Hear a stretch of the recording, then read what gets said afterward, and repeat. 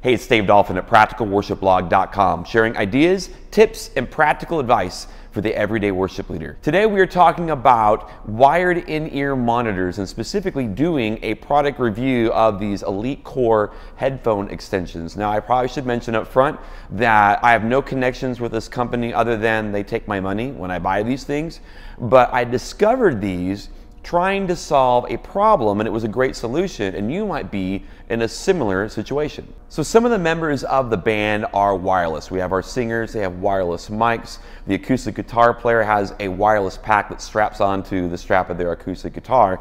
And then also their in-ears are wireless as well. So you've got this little clip here that can clip onto their belt or uh, their clothing or something like that. And then when you plug in your in-ears, it does this. And there's a place for this connection to hang. However, if you are wired, you generally have a plug that's kind of like this, and you plug in your in-ears like this. What do you do with this connection? Well, if you do nothing and you just let it hang, it kind of tugs on your head like this.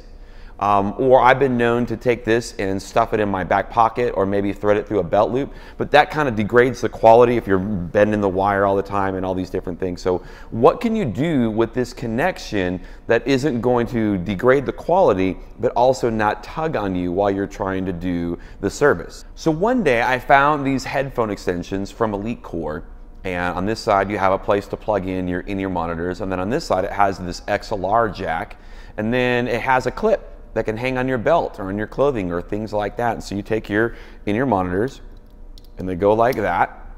And then there's this cable that goes along with it. One side of it is, you know, a tip ring sleeve like you'd expect coming out of a headphone jack. And then the other side of it has this uh, XLR cable. Now don't think of this as a balanced microphone cable. This is, it's got three pins.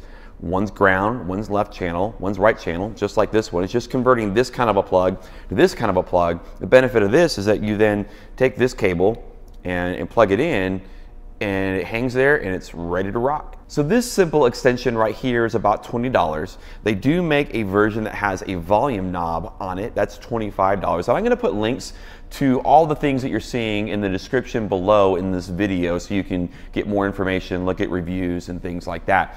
The cables that you'll need, the tip ring sleeve to the XLR, uh, you can buy those in 10 foot lengths and also 18 foot lengths, or if you're handy with a soldering iron, just make your own. Now, considering how inexpensive these things are, they're pretty reliable. When they do fail, some of the common things that we've discovered is uh, sometimes maybe one of the sides uh, will go out. You know, there's a bad connection point in there and the left channel or the right channel will go out. Sometimes we've had that little ring right there come out, come off, and so the jack will go inside of the box. And I bet if I spend some time with it, I probably could fix it, but uh, it's $20.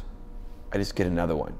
I, you know, in the four or five years that we've used them, I've probably replaced the same number, so about one a year. Again, considering the price point and how much we use these week after week after week, they're pretty reliable. Now, I should probably mention that Behringer has just come out with their own version of this model that has the volume control knob on it. Theirs is $30. I don't have any experience with it yet, but I will put a link to that in the description below as well. And uh, I'll probably get my hands on some here pretty soon, and we'll see if there's any difference in the quality between the Behringer and these elite cores. So that's kind of a look into our wired in-ear monitor system and specifically a product review of the Elite Core headphone extension. So when you have a connection like this and you're trying to figure out where does this go, you use something like this that has a clip that hangs on your clothing. Well, thank you so much for watching. Here at Practical Worship, we love sharing ideas and tips and practical advice for the everyday worship leader with videos just like this one. So if you enjoyed this, consider subscribing to the channel. That way you know when new videos come online here at YouTube every single week. And if you enjoyed this,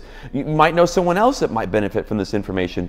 Consider sharing it on social media, on Facebook and Twitter and places like that. And for more great practical advice, check out practicalworshipblog.com.